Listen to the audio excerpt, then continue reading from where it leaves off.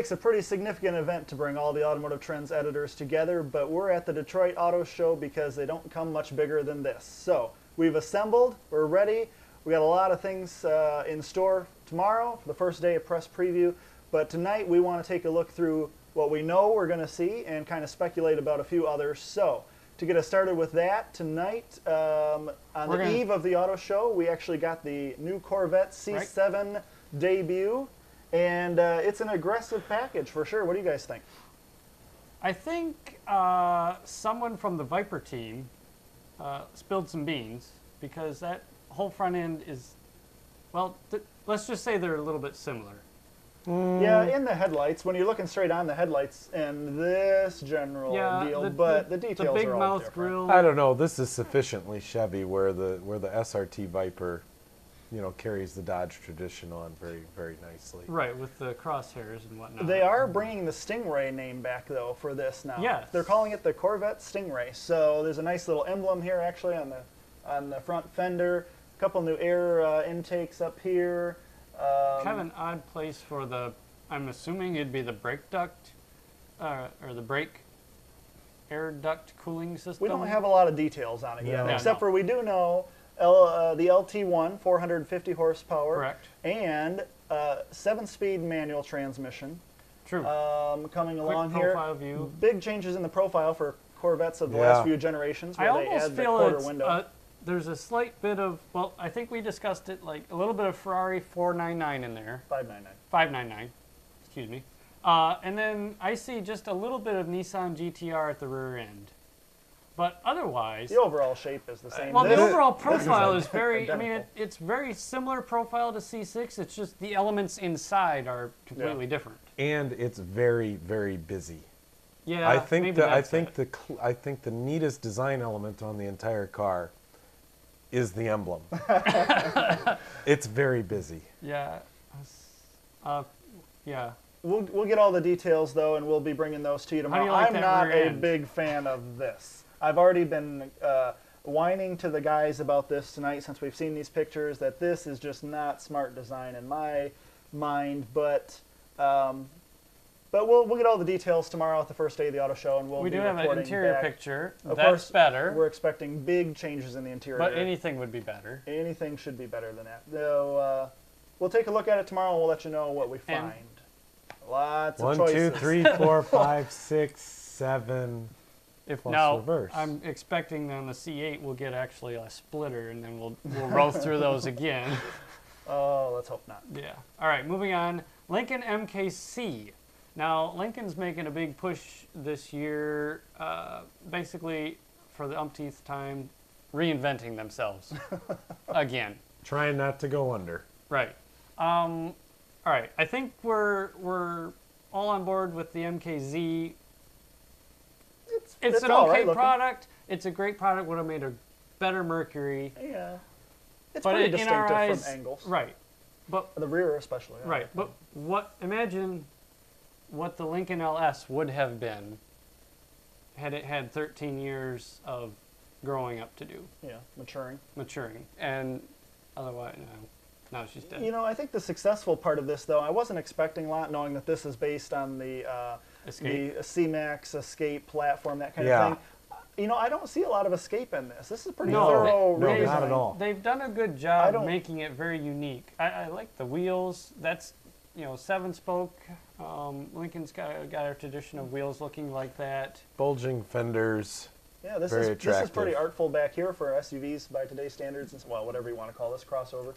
But um, you know, I think with this kind of fading roof line and everything, this is very Audi in here. Yeah. But Yeah. I think they could almost make a extend this door, make a two-door version, and you'd have a direct competitor to the Land Rover Evoque with a two-door. And I think this four-door matches up pretty close with the Evoque. So we'll we'll take a look at that tomorrow too. But uh, out of the box, this might this is one of my bigger surprises. I wasn't expecting to. No, like to that. No, like, not at all. much. I, I think we're all expecting to go. Meh. All right, nice. We were Next. expecting a, a mildly reskinned uh, escape, Yeah. is Right. what I think. and we this expected. is this is definitely close to production because I think we've got an interior picture here, and that oh Well, rear picture rear. actually first, Again- which is looking good actually. Yeah, I but it like that. highlights how Audi-esque that rear liftgate is. Yeah, but is. if you're going to copy from someone, Audi's not a bad place to start. Granted. Um, but this interior. interior, this interior looks like it could go into production tomorrow. Well, it's it's darn near lifted from the MKZ. so Push button button transmission. transmission. uh, some nice artful details. Really like this work in here. Yeah, aside from like the chrome on the seats and Yeah. uh, yeah, it's But pretty much production I think ready. we will be seeing that within the year. Mhm. Well, what do we have here? Well, I, this is supposed to be uh, the preview to the Infiniti Q50, which is the first of their new Q designations. I don't understand this. no, Now because Q means car or SUV. Q, uh, Q's car, QX is for their crossovers and SUVs. So the QX, I think, starts what- at 50, 50, 60, 70, or maybe 40. And 'Cause then we had the the QX Q 50, 60. I, d- I don't, I don't know. I don't know. I don't it, know how almost, it almost makes sense because originally, you know, one of the first Infiniti or the first Infiniti was the Q45. The first I SUV that was one. the QX. Seven. No, no, QX. no. Yeah. It was the one Yeah, based yeah, on the old Pathfinder. Right, right, Yeah. right, right. What was that? QX thirty. 50? I thought it was a Q- 75? I- who knows? This is why you need to give your cars names. Yeah. Yeah. Much more memorable. um, but yes, so the There's Infiniti LEDs here. G37 is getting replaced. Long in the tooth, great car, had a good run. Right. The new And- model is going to be called the Q50. Had And we see it's going to have a headlight. Well, it'll have some lighting here. Um, and we, we don't know much more about it at that point, but we'll find out tomorrow. We'll let you know. Um, so moving on to something we can see a bit more of. Yeah. The uh, whole new E-Class. Mercedes-Benz E-Class. And actually, entire there's a lineup, rumor really. Mercedes is going to do a new Oh, designation, some jumble. people but are not making this easy on us. Sorry, I had to vent. uh, but no, we are going to see the new E-Class family. right. Uh, coupe, cabriolet, the sedans, the wagons, uh, even the AMG I version. know the AMGs are yeah. We have a picture of that. This is looking Well- pretty good actually up front. This is a very handsome car. very aggressive. I'm not sure about that well, detail. we've but never really cared for the, the split that window, rear afterthought. window. And again, this is based off of the C segment, the C class platform still, so it's That's actually a very handsome front end. I like that. so it's a little shorter than the E's, but Uh, still done very well. yeah. Here's the AMG. How uh, This twin looks turbo. like the grill off of a 1967 Oldsmobile Cutlass. really? Yeah, I can. Yeah, kinda the see the, it. the the the uh, dumbbell shape. So Okay. BMW and Mercedes copied old GM Oldsmobile. Oldsmobile. style. Well, the big news here, though, with on. the uh, AMGs actually is that they're going to go to all-wheel drive. Uh, Well, and, Mm. the yeah. uh, the E63 is going to go to all-wheel drive to help and put that power CLS down. 63 as well. Yeah. We're going to see that too. So lots of product coming out of Mercedes, and we'll have to let you know what we find out there. There we go. This is a new whole family line too from Mercedes. It's called the CLA. Um, Right. Going to be right down just under the C-Class lineup, Mm-hmm. actually at the moment, kind of starting in the low 30s, we believe. Um, this has a turbo four-cylinder, maybe uh, a bit of a surprise, but probably not knowing where we're headed with fuel economy. No, that's not a surprise. No Everyone's surprise. The bigger that. surprise might be that this is actually a front-wheel drive Ah. Mercedes or available all-wheel drive. So take that uh, for what it's worth, but it's uh, certainly a good-looking little thing. It- Lots of style. Mercedes, Mercedes, no, uh, Mercedes needs to be rear-wheel drive with all-wheel drive options. The only one who can pull off front-wheel drive and all-wheel drive is Audi. I don't believe that to be true Mercedes Benz has had a front-wheel drive car for quite some time. Oh, true. The All A right. class. Yeah, well, Yeah. The something B classes, that's something Europe that too. good looking should power the rear wheels. Period. Yeah, but it still looks front-wheel drive. That does look good. I'm not gonna lie though. Yeah, it's a good-looking it's front-wheel supposed to be quite car a small car. for I'll- a front-wheel. I'll drive have to car. see. For a front-wheel drive car. It's hard to get and see, that's just it, here. right? Isn't Every that- time we we talk about this car, we're gonna have to make excuses for it. It's really good looking I used to make that for a front-wheel drive car. But I used to make that same excuse for Audi. I don't anymore. well, but that's because Audi's all-wheel drive and Audi's no, brilliant. that has nothing to do with it. I used to make excuses for Audi. Audi finally developed a design that actually looks rear-wheel drive. I don't know why it's not. Yeah, because their engines are pointed think the correct have- direction. We have an interior picture though, and Yeah. that, that's Ah. a lot of style. That's a lot of stuff that's a lot too. of style. Well, yeah, but like What is this?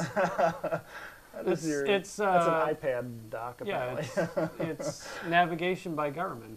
um, but uh, you know, if that if that's going to come in in the in the mid 30s or whatever, that I don't know. That's I like the why, steering wheel. Why don't Why don't they make these vents shaped like TriStars. a? I was just thinking that because you have a whole lot of that. Type It just of shape looks like- going on. That's what it should be. Yeah, I Maybe agree. that's too cliche. you can make that suggestion tomorrow when you see somebody from Mercedes. Yeah. All right. And it, I'm sorry, but is that the I'll old tell command Dieter's system? Is that the the analog dial? Am I seeing on this? Oh, I hope it's not the old yeah, command. never went well. That's enough to with not buy the car. BMW changing their naming Yeah, system again. too. But this one's slightly more logical. Well, if they get everything switched over, it'll be all right. Yeah. But this is uh, a coupe version of the 3 Series, but they're now going to call it the 4 Series. Right. So it's not a coupe version of the three series No, I because guess that would be a three series coupe. I guess This, this, is a four series. all new, even though it looks a lot like a 3 Series. Yeah. um, but a very, very handsome looking car. Uh, this isn't quite production. I think they're going to show a thinly Uh, kind of the, the dumbbell yeah, grill again. to Grenand has been done. Oldsmobile Cutlass. From That's way looking back good. when. Uh, it's looking good. Yeah, I like it. Is it just me, or does this have a slight more power bulge to the hood than the sedan? Well, remember too that this is a light concept. concept, That's version true. too. So we'll True, see true. what production actually ends up looking. The wheels probably won't be so ginormous. This is a taillight. With bubbles. it does look like bubbles.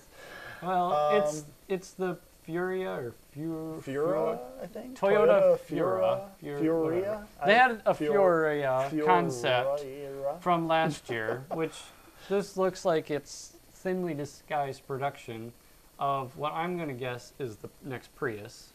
What? Really? You think the You don't Prius will think be a so? notchback with a Yeah, carbon that's a fiber pretty spoiler? Yeah, remember last year? Well, the Yeah, the but last year they gave us a HS250H concept- hybrid was the Lexus version of the Prius, and that was a notchback. Well, the original Prius was a notchback, but do you ugly. think that they would abandon that? The fastback. I don't know. Liftback is what I'm Toyota guessing, calls it. I'm guessing that we're going to have a choice now. All right. I'm thinking this You is. heard it here I'm. I'm thinking this is Prius. Ooh, what if it's a Prius coupe? I'm I s- don't know. I'm sure I won't like it anymore. We'll have to find out tomorrow. Yeah. What What are we Uh, looking at? Well, now? it's just like you know the the shape of the rear. Tail bumper- No, This? yeah, can't the, see the much. way that cuts. I mean, clearly that's for aerodynamics. We'll find out. It's a Moving taillight. along. This has a lot of promise, actually. Hyundai, Hyundai Hyundai. HCD 14. Yeah. I think so. I yeah, remember the HCD 1. They uh, It's been They- many years. it has. they've got a great looking greenhouse. I like here. the greenhouse. I like that it's very long. Um, I It- believe mean, this it is rear wheel looks- drive. Looks like a uh, A7 Audi A7 competitor. It does with Uh, that uh, very hatchbackish Yeah. sedan profile. Can't tell a lot. Of, they could completely screw this up and completely screw this up and ruin the whole thing. But from what I can see here and up, it looks pretty good. Well, maybe you only drive your car under moonlit nights. Then. Maybe I'd be okay in that case. All right, we'll find out. Another one of those moonlit nights. the lighting is very bad in these photo studios anymore. maybe, uh, maybe they, I don't know, ran out of bulbs. Trying to What is this supposed be to be green. Yeah, what, what, what This is this is Nissan. This is the Nissan Resonance. so a concept of some sort, Right. little crossover. I think we're guessing that it's the Murano, based on the a little bit of crossover uh, hatch If it's the Murano- wagon. Uh, If it's the Murano, I officially have no comment. We don't let Grenand talk about Nissan Yeah. products anymore. Moving on uh, Lexus to the IS. Lexus. This is bizarre. Yeah, yeah, this- that's fair. they ha- uh, Lexus is inviting some uh, serious design debate because they came out with this grill, which was controversial enough. Well- and now look where they're going with headlights. This is very interesting, and But- maybe not in a But you way. cannot call it bland. no, it's and not we bland. have criticized them to no end about that up to this point. We can also criticize them for being ugly. I'm not positive anybody was calling for headlights to be in multiple components, but either way, we'll find out. Li- It's like you've said before. This the is the production Japanese version. too. the Japanese styling has some very unique styling that looks good. Each if you, element. If you only look at the detail. right. If you look at the whole thing, if you stand back like we can in America because we have more wide open spaces, uh, sometimes I think some of the details are lost on us. We've got other views though, don't we? What do we got? All right, that's, That's- pretty that's- traditional. that's Yeah, fine. that's Nobody's fine. gonna get upset I mean, the tail lights, you know, kind of get pulled Yeah, they're down to it, but Yeah. whatever, They're they're drawn out. That's That's all fine. yeah. That's Yeah, not. it's a little busy, and I don't know. I, This is one of my looks like a fun steering. everything just looks chunky. The Yeah. last couple Lexuses I've driven, they- they all just feel chunky. I don't like the way they're doing The dash is chunky. ways- uh, The vents are non-imaginative. The center console is chunky. The steering wheel is chunky. I, I don't know. I just don't It'll be feel like to see I'm what the dimensions are. part of this the car, car. The the IS has always been it's little been left too behind. tight. Yeah, it's been left behind in the size category to directly Well, compete with everything. I've always felt, even from the first IS, that you know, to be a driver in there, you had to be my size or smaller because Yeah. you just It felt was- very. It was tight. So Tight. we'll see if they add a few inches to kind of can keep up with the the uh, class that's kind of getting larger. a, a few larger. inches would not be lost on me, I guess. That is a fuzzy, grainy photo delivered to us by GM Media. Yeah, that's actually what they wanted us to show. Right. this the is Cadillac the ELR. right, which is the premium version of the Chevrolet Volt. Well, that powertrain Right. for The sure. Voltec powertrain is finally migrating into something else. Uh, two door coupe body, and um, find out. I guess it's supposed to look very much like the concept, which was a good looking concept. Yeah. Um, I, so my only, and you can't tell from this view, but it does have a pretty wicked front overhang, so it does look. It actually looked. The concept looked very mid-engine, even Yeah. though it's clearly not. Yeah. Um, so it kind of it, it almost goes so far to the front-wheel drive proportion that it begins to look mid, and then it kind of looks good. I don't know. it's I just wish they could stretch the wheelbase out drive. just a, a skosh more and give it a little less overhang in the front. But we'll see. we'll see it in the flesh tomorrow. Uh, actually, Tuesday. We'll see this one Tuesday Okay. uh, in the without morning. this Without neat all paint the- job. Well, I, I don't know. Maybe that's Maybe that's a new maybe trend. that's the new wave. I don't know. They're gonna have to do something with the headlights because I'm pretty sure that's not legal. Uh, this will be the Acura MDX concept prototype. Yeah, we know how Um, Acura kind of rolls out a prototype, and then like three months later, the Right. I mean, it's a rolls out, pretty so- thinly disguised concept. But and we um, don't see much here yet again. We don't see much there, but what we do see looks pretty promising. Well, actually. that we saw the RDX last yeah, things have improved January. a bit at Acura so lately. I'm expecting a larger, probably a little more gently uh, shaped car than the RDX. You know, not quite as. Looks like some aggressive air intakes though down here. I think- Yeah, but I think they're cranking the sport up on that one. yeah. Well, it's still going to be a big crossover. So We'll see. yeah. Oh, now the moment you've all been waiting for. Mm. Yes.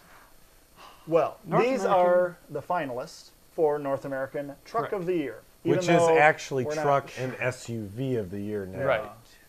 Um, Though we don't have any, we have crossovers and a tall wagon. That's a Hatch. pickup.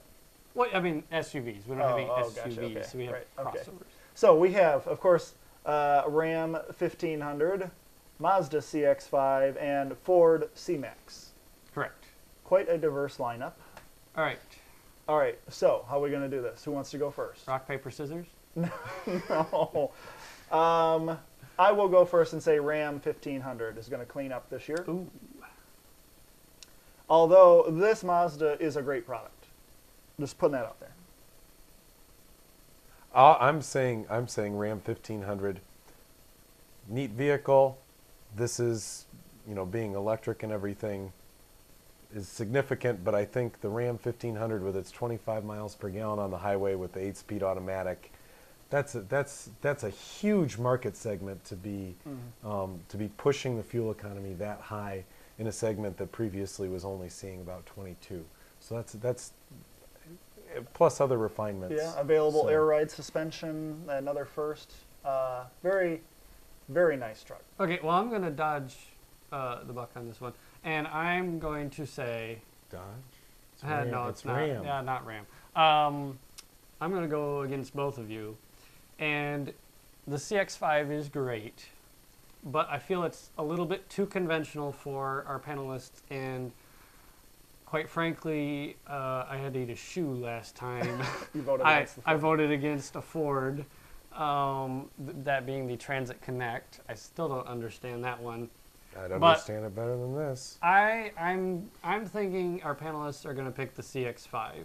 No, not C C Max. No. Ford C Max All right. So we've got two for the Ram and one and for the Muxlow's C-Max. voting C. I, I think it's just there's enough because it's hybrid because there's electric. It just I think All right. We'll Well, find my out. second guess is that we're all wrong. and it goes with the CX-5. CX5. I could see that. We'll f- we'll find I out. can Oh, see only that. because it's the one we didn't pick. Yeah. Well, yeah, but um, and it, it's great and all, and you can get a manual transmission, which I love, but you can only get it in three colors and with cloth. We'd like a few more options, Mazda, if you're listening. Yeah, All right. Car of the year, Fusion. Honda. Honda Accord. I've been waiting a little while to say that. Ford Fusion, Cadillac ATS. Um, it sounds like we know that you're going with the Ford Fusion. Yeah, You're an and? No way I'm going with the Fusion. No way I'm going with the Accord. ATS. First car ever to really, really chase the three series and and, and Yeah, get the and the journalists have been have been saying it's a better handling car than the current three series. yeah, but people have done that before. People have beat BMW at, at its own game before. Well, no.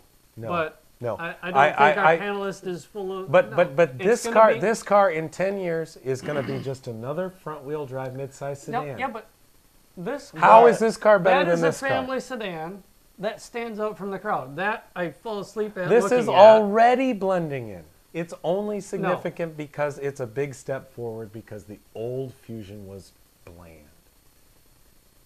I'm still saying. Not Fusion. bland, but conservative. It was conservative. Fun to drive after the 2010 fix re- refresh. But anyways, Okay, what does Di say? yeah. What does he Um, say? I I'm think- going to break the tie in favor of the ATS. I've supported it Oh. all along the way. I've just been impressed all around with what it offers. Unfortunately, we haven't gotten a chance to drive one Yeah. here yet, but we're looking forward to uh, the day that we do. And uh, I just think it's such a strong product from a resurgent Cadillac that maybe they'll finally uh, reward them with the uh, car of the year. Um, the Fusion has stumbled a few with a few recalls, a few things like that. Um, not a lot of people like the MyFord Touch system.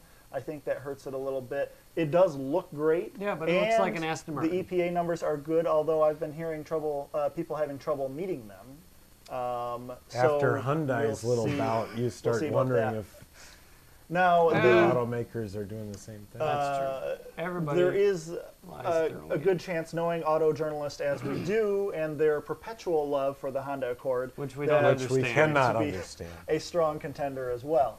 But really, this is a this is a pretty good field. I could see it really going either way.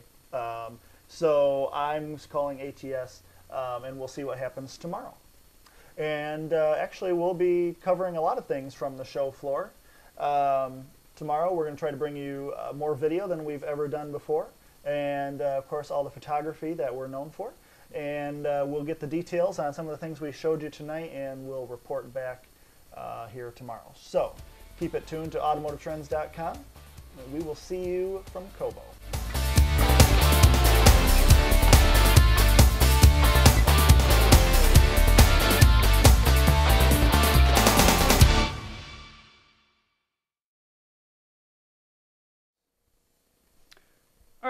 Sound check number 7016. I am talking way over here on this side. I'm over here on this side. I'm in the middle, so I don't think it makes any difference. no, that's really. Okay, let's see if this made any difference, but I don't think it will. I think